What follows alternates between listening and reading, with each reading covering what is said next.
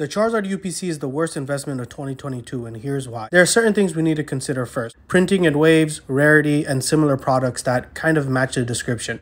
Since the printing shortages for Pokemon in early 2020 and early 2022, Pokemon has increased their printing operations and print on demand for Pokemon Center exclusive items. This is a super important point that we need to keep in mind. Let's look at two modern Charizard cards exclusive to the Pokemon Center, Special Delivery Charizard and Special Delivery Bidoof. Just based on what's on the card and how much anticipation there was for it, you'd think that the Special Delivery Charizard would be more valued with Pikachu and the Charizard on it versus a Charizard and a Bidoof. But as you see here, the price dropped from $355 when it was first released to around $53 now. Because of the print and access to codes, meaning that there are more of these Charizards in the wild versus Bidoof, where there was a very short printing and less in the wild and way harder to get the codes. Or even Special Delivery Pikachu to prove the point. Second point, Charizard UPC will ultimately be overprinted. If you compare it with the Celebrations Ultra Premium Collection, that wasn't a print-on-demand system. Once it ran out on the site, it didn't let you pre-order more,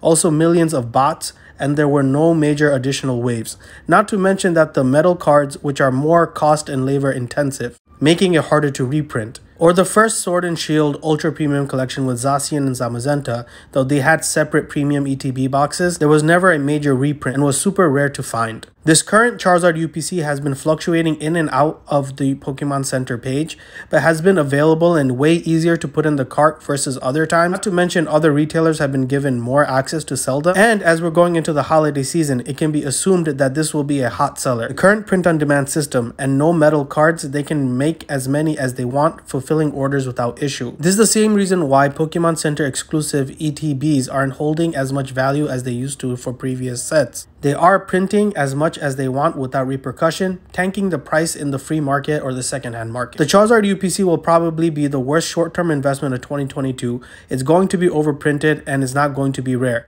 Maybe 5 to 10 years or even further down the line, sealed collectors will pay a good price. But even with the special Zard promos going to flood the market and no extra special packs, you can expect price drops like the special delivery Charizard. This is proof that the only Pokemon that will hold value in the end is none other than Bidoof. Doof doof.